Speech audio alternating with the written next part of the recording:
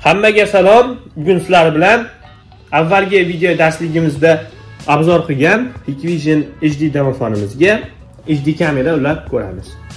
Buning uchun bizga kamera, video balon, damofonimiz o'zidan chiqadigan maxsus kabeli hamda kameramizni yoqishligi uchun blok pitaniya kerak bo'ladi. Qani boshladik. Birinchi bo'lib monitorimizni klashtendan chiqarib kabelimizni ulab olamiz.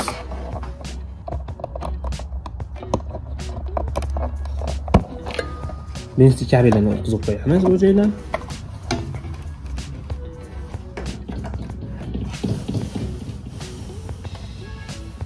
Birinchi bo'lib mana pitariyani ulab olamiz. Video balonni ulab olamiz kameramizga.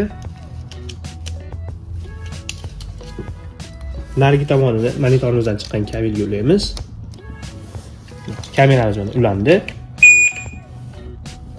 Endi mana bu knopkasini ochib rejimini o'zgartirib olamiz. Bosib turaman. U yerda mana kvbs rejimida chiqadi. O'tganida mana bu joyda ham yozib qo'ygan bo'ladi o'zi. Mana kameramiz. Faqat прямой holatda ko'rsatadi.